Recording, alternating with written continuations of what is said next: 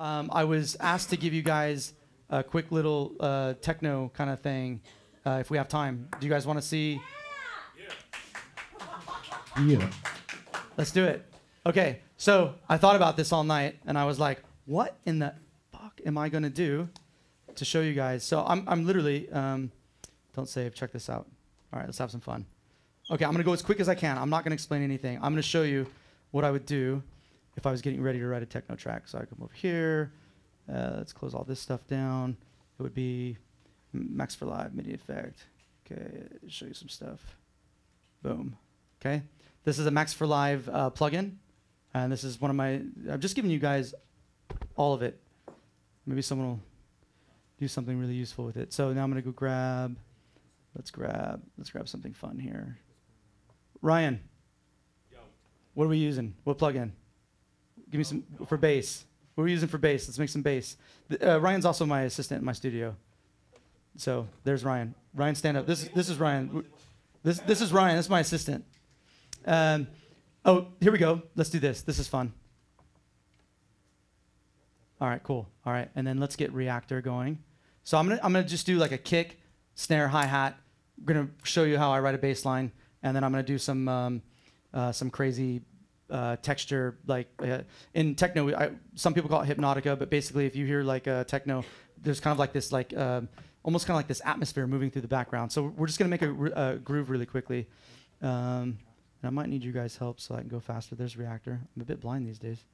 So there's Reaktor. And what I'm going to do is I'm just going to kind of set myself up for success here and just load exactly what I know I need. And again, we're going to go to Ableton, EQ8. Let's copy that so we can be efficient. We'll come over here. Boom. There's that. Uh, let's come back to Reaktor and you guys help me find LFO tool. LFO tool. There it is right there. Boom. Okay. There we go. All right. Let's see if I can do this. Like speed writing. Okay. Um, let's get a kick. All right. Uh, packs. Let's see. You'll see how organized I am here in a minute. We'll go minimal techno, drums. No, no. Let's do this. Strictly minimal. Those will work. Um, where's that riot? Is it this it? I think this is it. Yeah, these are good kicks. That's not it. Perfect.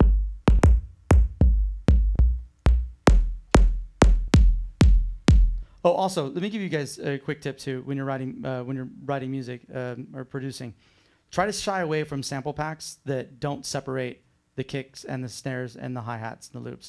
Like this, I feel, and it's my opinion, that sample companies kind of take advantage of people by selling loops like that. Because what if you want to pull the hi hat or you want to pull something out? And I think a lot of us, like, we buy sample packs when we get into it, and we buy these packs, and then we're like kind of stuck with this loop, right? So I think that it's always good to have everything separated. That's pretty good, uh, pretty stompy. Uh, let's grab that. All right, cool. All right, now I said I was going to give you guys some mixing tips. Setting yourself up for success for a good mix. Um, I always turn everything down, right? So I go negative 10 right off the bat, okay?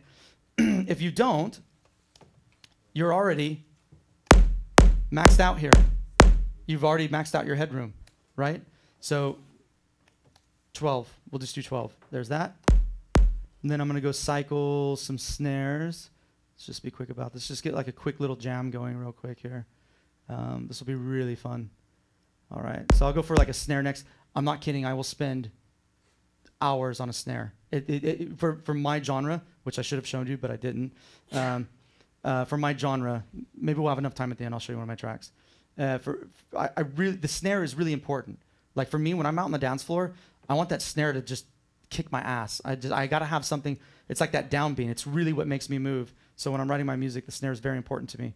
So it's got to be. Uh, so I'll cycle, and let's go quicker. Let's move this to like uh, half.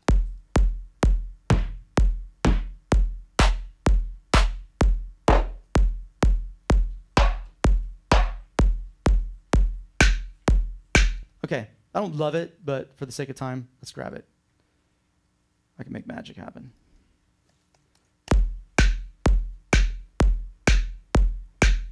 Okay, let's grab a hi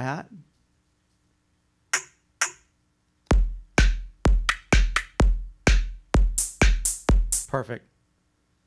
All right, good. There we go. Let's turn that down. And see how I'm automatically matching everything I do. All right, now for the fun part. Okay. So this is my baby. And the way that I write music is very, um, I always say this wrong, generative. I like to let, it's like you, I've, I've paid all this money for all these cool plugins. I want them to think for me. I, I, I like to take my, um, I like to think of it as like pulling out of the ethos, right? Whatever is in my head, I might not be thinking of it, but if I just kind of use these tools that I've bought uh, and, and learned to use, I can utilize them and I can just kind of pull something out of the air and use it to get this idea, this feeling uh, that I have out of my head. So what this is is a uh, step generator, and it's gonna step. It's gonna generate uh, steps.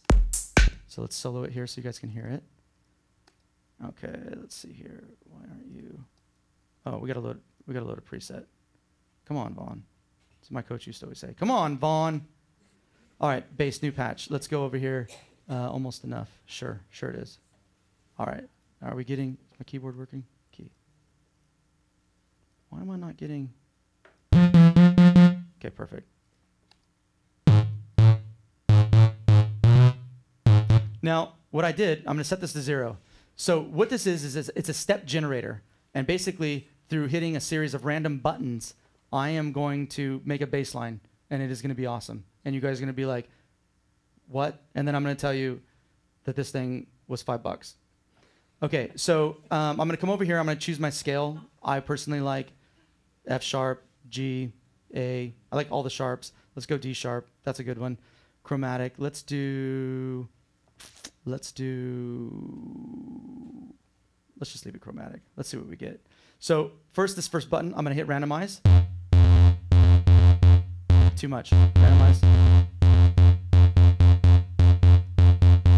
And let's cut the lows out of this. Let's just do that right off the bat. So I always just come in here and cut the lows. Let's just do like 55 for now. Okay, that's cheesy. We're not going to do anything cheesy. Don't, hey, have some faith. trying to pull out of the ethos here, and you're laughing at me. It's not going to work. Uh, I want something really scaled, scaled back, and it's obviously, uh, uh, and it's it's a push and pull also between. Um, um, Okay, so let's just take some of those notes out. There we go. Let's take that one out.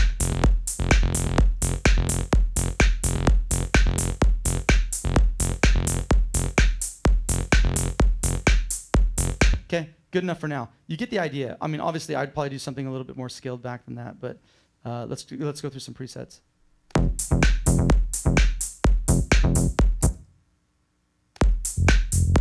That's pretty good.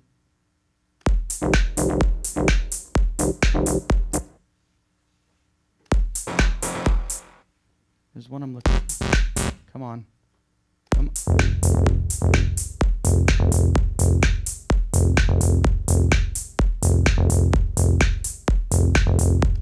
Okay, so there. I mean, I'm I'm not like crazy about it. Now, here's what we can do.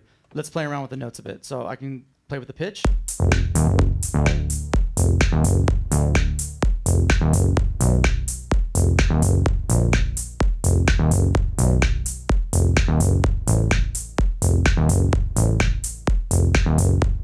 I play with the velocity.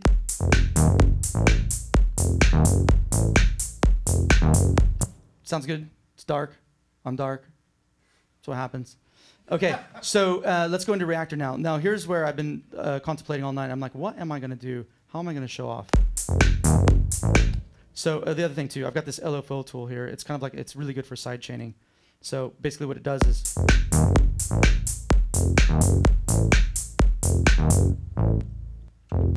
it's pumping. We're getting a little clipping. I'll move this back a little bit. So let's get Reaktor open. So um, I also like to call myself a sound designer. That's why I showed you the, the video that I did. Um, let's go in here and uh, let's see. Let's see. Abstract and sound generators. We're gonna do. We're gonna do something fun. No, here's what we'll do. We'll do. Uh, let's do Twisted Tools. We'll give. We'll give Twisted Tools a plug. Favorites. Where are you? Twisted Tools. Where's Scapes? Scapes. Where's S layer? Escapes. There you are. All right.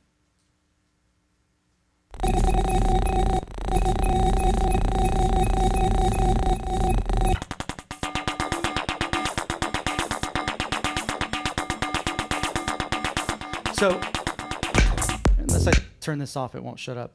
So what this is, uh, and without getting too technical, right? We're on, uh, we got maybe five minutes left. Uh, this thing's always creating sound, and Reaktor is a VST. It's everything. Just it's it's a sampler, it's a synthesizer, it's a sound generation tool. It can be anything you want it to be. Um, and this particular ensemble I'm using in Reaktor uh, generates uh, really cool sounds. So I'm just gonna set myself up to create this like pumping um, texture that goes behind that kick and uh, uh, snare bass line that I just created. So let's focus on that for a second. So I'm going to cut the frequencies out that I don't want.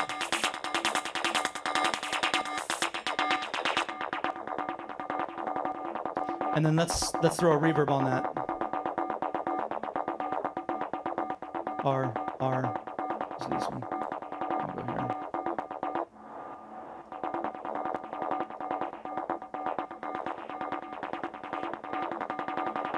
Oh, I know what we can do. Let's, let's really, if we're gonna show off, let's, let's show off. Uh, let's come in here. Where is Max for Live? Essentials, and we want uh, audio effect, and we want. Does anybody know where the LFO thing is? Where's the LFO thing? Is it is it a MIDI? Control devices, LFO MIDI. No, that won't that won't work right here. No, it's it's an audio. That's not it. It's audio. Let's see here. Max audio, audio effects rack buffer, control devices, LFO. Okay, here we go. Here we go. Okay, so what I'm going to do is I'm going to map this frequency here. So I'll come over here and hit map and grab this. There, now I've got some motion. Let's turn that down a bit. And it's a little too much. There we go. Let's hear how that sounds.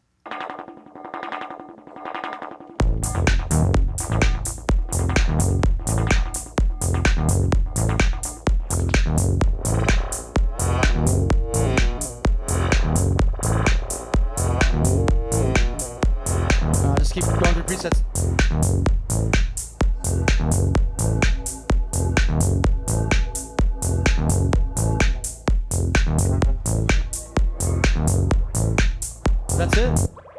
I'll just keep messing around. I mean, that's two really quick tips, and hopefully they were helpful. This is called uh, Ultimate Step Seek, but it's like got um, Z's in it, and then I showed you how. I mean, that's it. That's kind of how I would just generate something really quickly. Yeah. Cool. Give it up.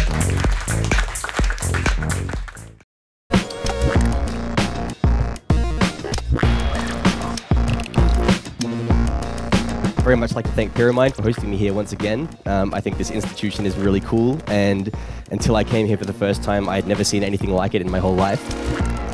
What I think really separates us from other people who teach is that we are outrageously passionate about what we do, and especially in electronic music. Since since coming to Pyramind, I, I've discovered electronic music, and you know San Francisco being a mecca for underground electronic music opened up so many doors for me, and kind of blew my mind. We cover everything from Absynth to Kontakt. When people get to the mind melting level, uh, we get into modular synthesis. Everything about native instruments, everything about Logic synths, down to the, the finest detail. We, we learned it all. the fundamentals of understanding how things work that's just essential but then beyond that there's so much more and that's where it gets into just a lot of, of the artistic side of like the creative approach of, of why you do something not just how There's a lot of schools that just, you know, they focus on the technicality of, of recording music, um, but I wanted something that would foster creativity and, and really help me develop as an artist as well. Each of our genre-specific programs comes in four levels. There's a basic, an advanced, a professional, and then a master's level. And the master's level is, of course, everything we do. It's the largest and most powerful programs that we can create for you.